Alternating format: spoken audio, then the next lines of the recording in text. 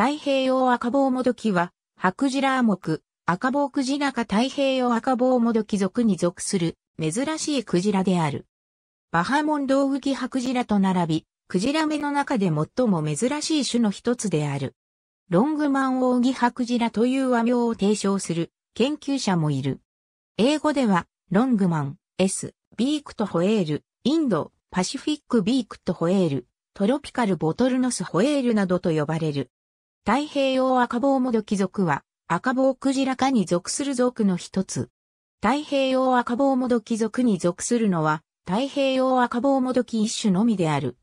同じ赤棒クジラ科の扇葉クジラ属、とっくりクジラ属に似ており、山属をとっくりクジラ赤とすることも多い。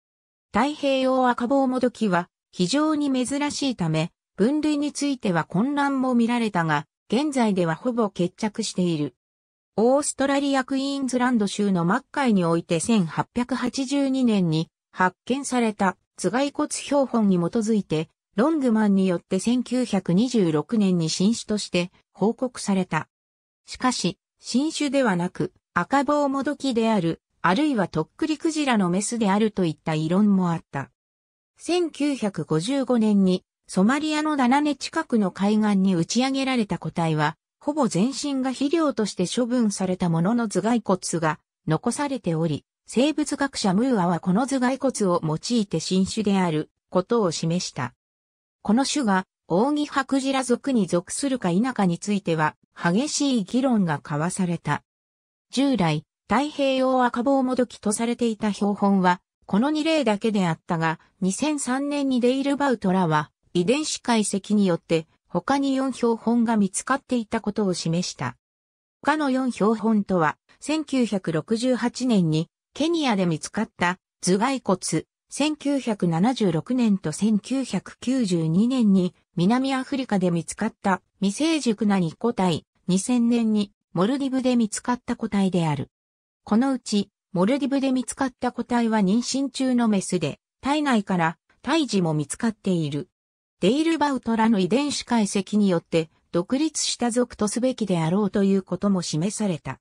現在では太平洋赤棒もどき属として独立した属とすることで、ほぼ決着している。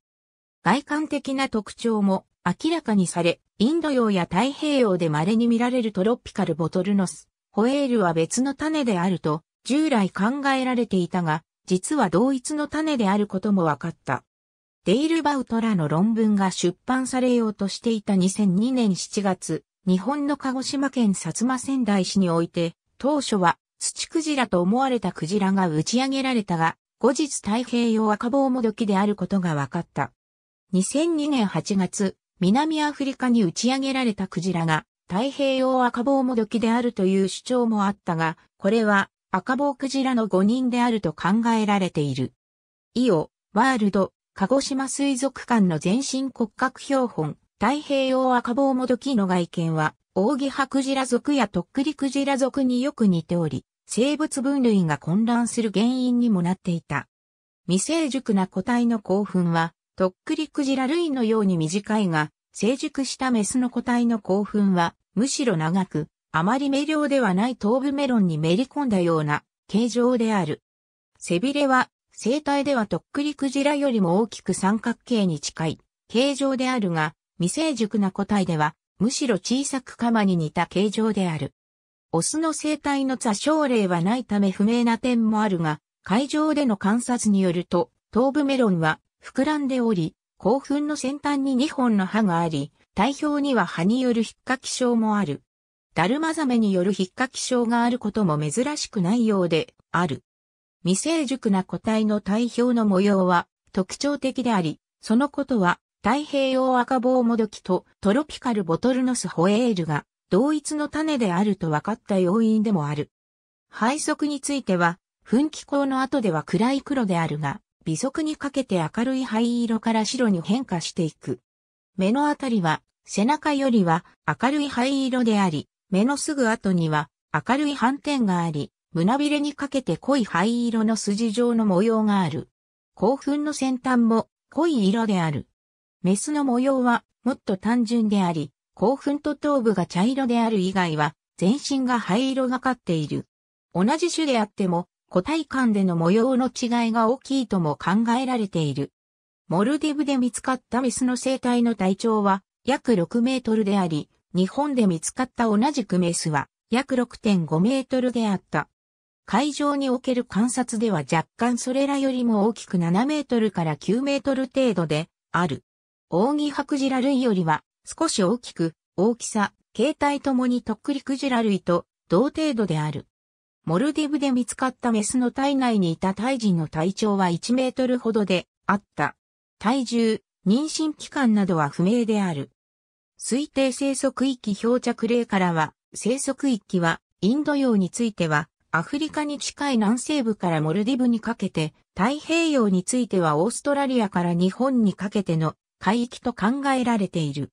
しかし海上における目撃例を踏まえると、生息域はもっと広く、アラビア海やメキシコの西岸などにも生息していると考えられる。メキシコ湾における目撃例も報告されているため、大西洋の熱帯海域にも生息すると考えられる。ハワイ沖における目撃例が最も頻繁である。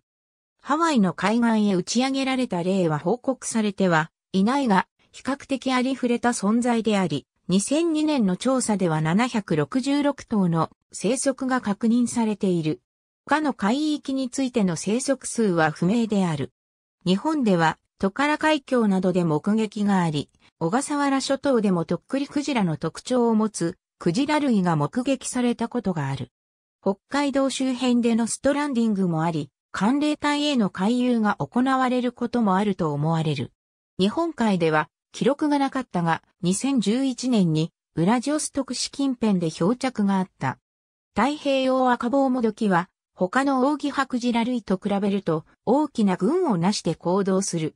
10頭から多い時には100頭程度の群をなすが、典型的な群の大きさは15頭から20頭程度である。群の結束はかなり硬い方である。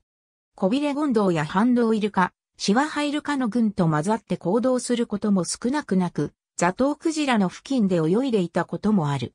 ブリーチングを行うことは知られているが、低めの跳躍である。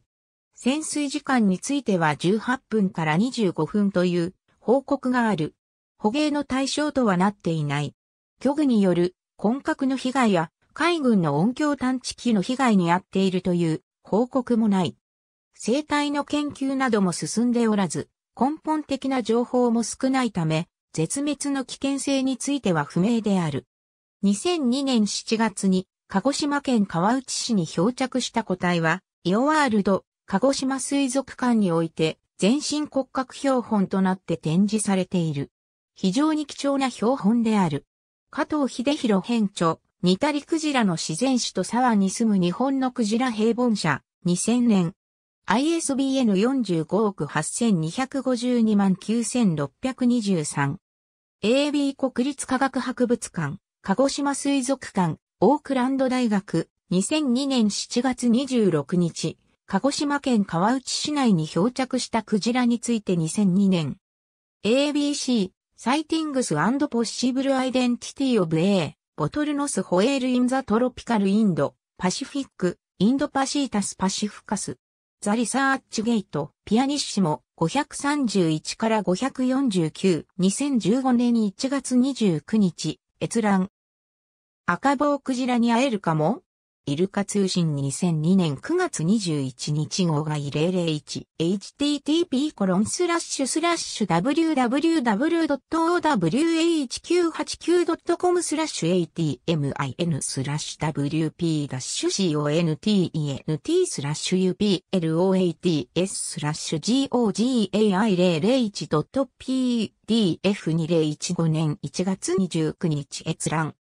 2011データニュースエージェンシー2014年6月9日閲覧ありがとうございます。